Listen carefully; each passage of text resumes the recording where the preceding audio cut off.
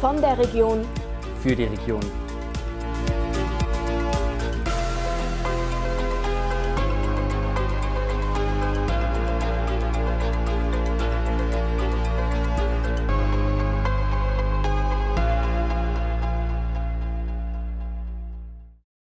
Hallo und herzlich willkommen aus unserem Studio zu einer neuen Ausgabe von Kufstein TV. Mein Name ist Albin Winkler und ich freue mich, euch wieder begrüßen zu dürfen. Mit diesen Themen starten wir in den August. Volltreffer. In Münster fand auch heuer wieder das allseits beliebte Feriencamp statt. Power Duo. Das ambitionierte Singer-Songwriter-Tandem Tier Decline im QTV Bandporträt. Streetball das 3x3-Finale am Fischergries bot packende Basketball-Action. Das Feriencamp in Münster ist für alle fußballbegeisterten Kinder in der Region Jahr für Jahr ein besonderes Highlight. Über mehrere Tage hinweg stellt ein engagiertes Trainerteam jedes Mal ein abwechslungsreiches Programm zusammen, bei dem das runde Leder stets im Mittelpunkt steht. Unsere Eindrücke vom Feriencamp 2024 gleich nach der Werbung. Egal ob Sie Filme streamen, im Internet shoppen oder an Online-Meetings teilnehmen. Surfen Sie unbeschwert im Netz mit den unschlagbaren Tarifen von Kufnet. Das ultraschnelle Internet überholt alle und kommt bis zu Ihnen nach Hause.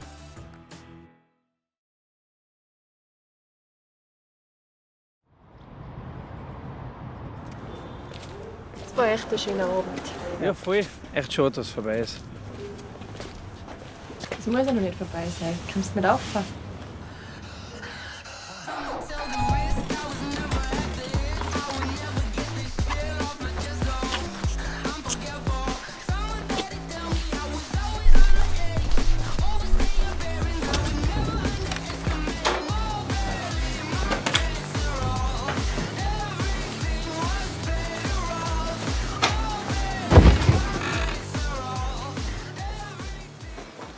Dorothee kommt gleich wieder.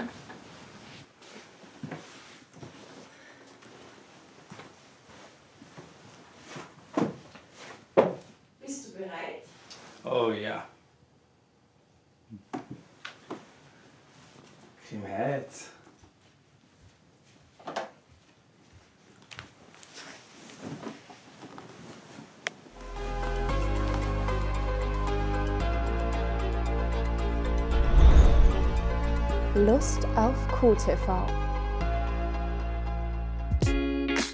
Werbung Ende!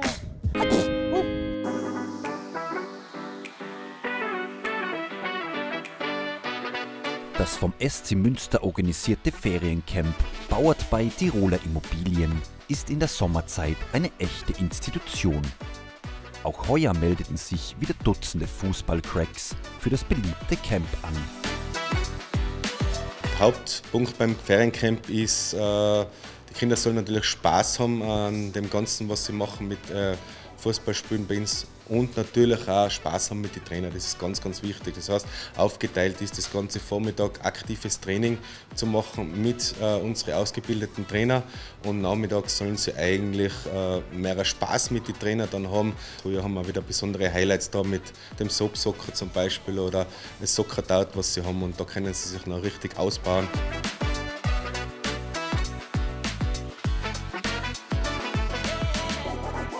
Betreut wurden die Kinder von einem zwölfköpfigen Trainerteam. Ja, ich habe selber zwei Kids da bei den Feriencamp und das ist eine tolle Sache für Kind und für die Erwachsenen. In, für die Kinder ist super, sie sind die ganze Woche an der frischen Luft, haben Bewegung. Im Schultag haben sie das nicht so. In die Ferien ist das super für die Eltern, die was berufstätig sind, weil sie die ganze Woche eigentlich die Kinder abgeben können und einen Job nachgehen können, weil in den neun Wochen Ferien, was sie haben, ist das für manche Eltern sehr schwer zum Handeln.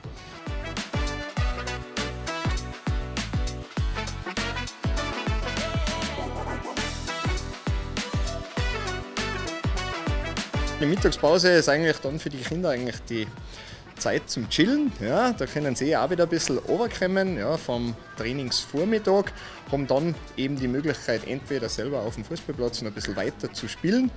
Manche, die was schon ein bisschen älter sind, die machen schon ihre ersten Partys in der Kabine. Ja, da gibt es ein bisschen Musik und dann wird auch schon gefeiert. Ja.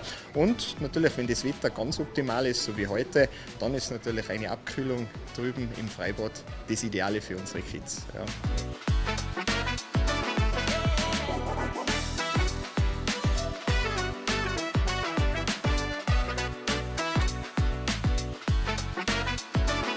Wie gewohnt waren die Tiroler Immobilien Hauptsponsor des Feriencamps.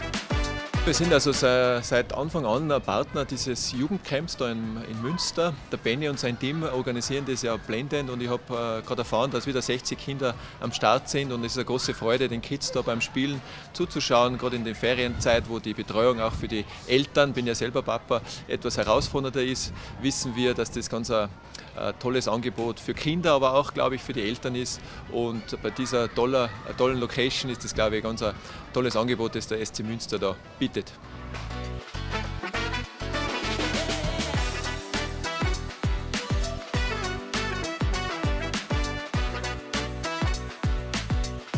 darf mich freuen, wenn auch nächstes Jahr beim Camp wieder das so gut äh, anläuft, wie es heuer war. Ich glaube, innerhalb von weniger Wochen war das Feriencamp mehr oder weniger sofort ausgebucht und wünsche dem, dem SC Münster in diesem Sinne für nächstes Jahr genau den gleichen Erfolg und ja, Gratulation auch von meiner Seite.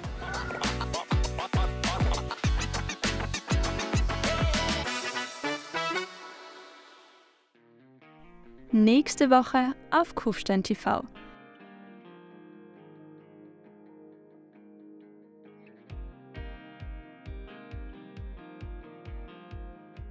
Hanna und Maximilian aus Kufstein haben bereits im Alter von neun Jahren ihre eigenen Kompositionen geschrieben.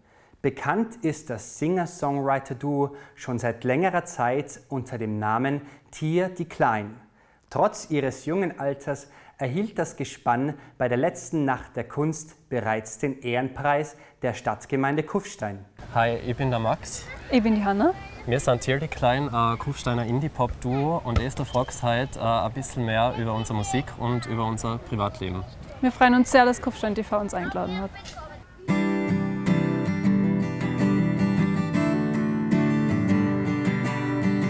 Die einflussreichste Person in meinem Leben war ähm, sehr viele. Ich würde sagen, aktuell vielleicht meine Oma.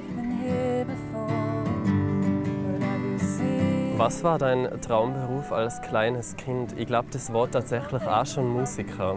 Ähm, nicht, dass ich was falsch sage, also es war sicher mal Feuerwehrmann oder so, aber ähm, ich glaube, es war tatsächlich schon Musiker, ja.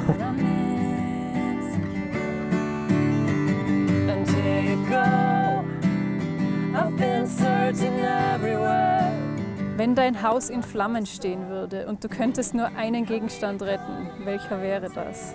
Ich glaube, in meiner jetzigen Lebenssituation mein Laptop, weil da einfach alle meine Daten, alle Songs drauf sind, alles, was irgendwie digital jemals von mir gemacht worden ist. Was würdest du drei Tage lang ohne Strom machen? Ich glaube, ganz viel Musik, weil es nicht für Alternativen gibt. Ich habe leider außer ähm, Musik und Sachen, die mit Strom funktionieren, nicht wirklich viele Hobbys. Deswegen ist bei mir auf jeden Fall Musik.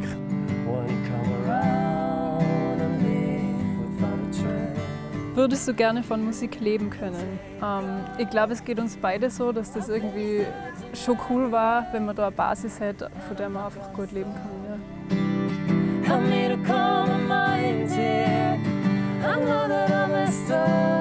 Dieses Musikgenre geht gar nicht. Ich möchte äh, prinzipiell sagen, dass ich finde, dass jedes Genre seine Berechtigung hat und ich alles wertschätzen kann. Aber was ich persönlich gar nicht mag, ist Deutsch Rap. Ich weiß nicht warum, aber das mag ich einfach nicht.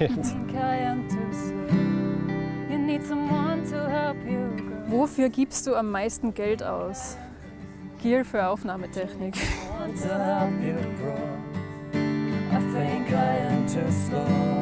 Was steht in Zukunft musikalisch an? Ja, das passt jetzt eh dazu. Ja, wir wollen auf jeden Fall äh, weitere, äh, weitere Songs äh, außerbringen ähm, und langfristig auch ein Album. Ein Datum können wir leider nicht äh, nennen, aber es ist auf jeden Fall unser Plan, dass wir ganz viele äh, neue Projekte machen.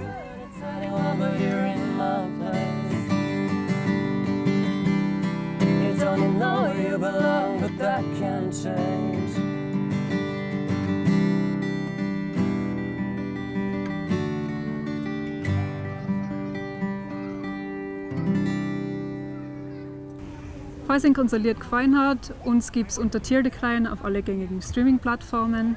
Danke fürs Zuschauen und vielleicht sehen wir uns ja mal beim Auftritt von uns. Bis bald. Nächste Woche auf Kufstein TV.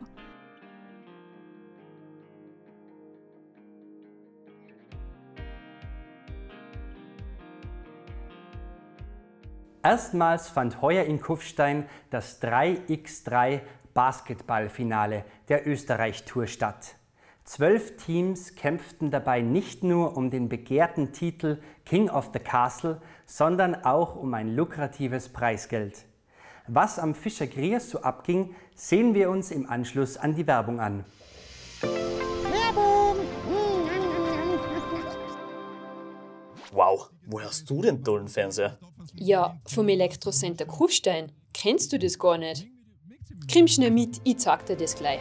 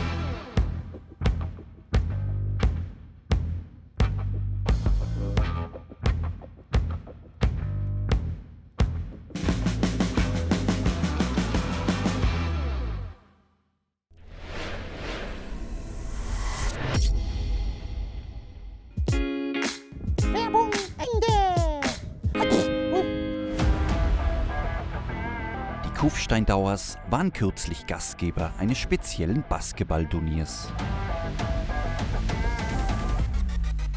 Heute haben wir das große 3x3-Finale, Österreich-Finale, mitten in Kufstein. 3x3 ist eine olympische Trendsportart. Ähm, Basketball auf einen Korb, zwei Teams mit jeweils drei Leuten, die gegeneinander spielen. Und da dürfen wir heute in Kufstein, mitten in Kufstein, das Österreich-Finale austragen.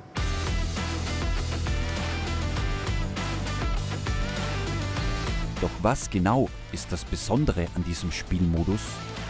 Es ist ein deutlich schnelleres Spiel. Man spart sich die, die ganze Distanz, äh, was man sonst hat, auf, einen- auf einen anderen Korb zu. Ähm, zeichnet sich dadurch aus, dass man eben extrem schnell spielen muss, wurfsicher sein muss. Ähm, es dauert nur ganz kurz das Spiel, entweder 10 Minuten oder bis 21 Punkte.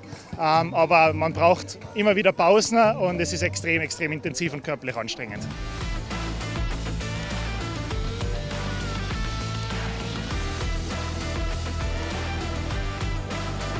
Bei dieser intensiven Spielweise gibt es nur ein Motto.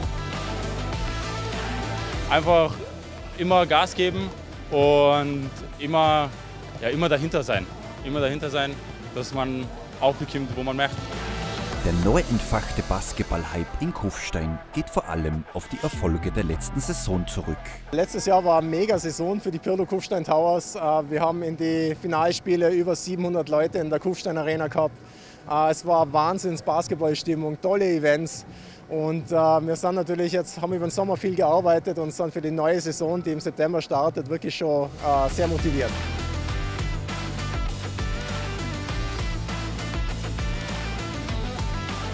Auch die Zuseher waren vom 3x3 begeistert. Wieder mal ein eigenes Sehen, so relativ interessant. Ja, also ich finde es gut organisiert, auch mit den ganzen Sponsoren und so. Ja, dass die Großsteine das auch so zulassen, am Fischergräs. Also ist eigentlich eine ganz coole Aktion.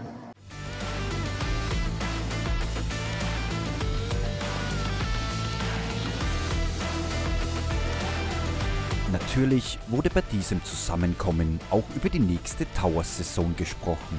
Wir haben große Erwartungen. Wir waren äh, letztes Jahr im Halbfinale. Jetzt wollen wir natürlich den ganzen Weg gehen und, und die Meisterschaft erringen. Ähm, wir haben jetzt schon äh, ein, zwei coole Zugänge, die wir bald verkünden dürfen. Die sind teilweise heute schon da und machen weiterhin einen guten Eindruck. Und ja, das Ziel ist Meisterschaft und regelmäßig eine volle Kufstein Arena hoffentlich.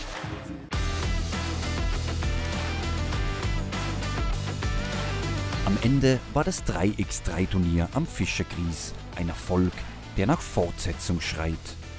Äh, ich glaube, so ein Event wäre nicht möglich, wenn wir nicht viele Unterstützer hätten. Die Stadt Kufstein unterstützt es äh, sehr, sehr gut. Wir haben sonst da mit, Craft, unserem Ausrüster, einen tollen Supporter. Ganz, ganz viele Unternehmen aus der Region, die uns unterstützen. Kufstein TV natürlich auch, sind wir sehr happy. Und von dem her ist es ein tolles Event, über das wir uns sehr freuen. Damit verabschieden wir uns schon wieder für diese Woche. Im Namen des QTV-Teams bedanke ich mich fürs Einschalten und freue mich schon aufs nächste Mal. Bis dahin, ciao, euer Albin Winkler.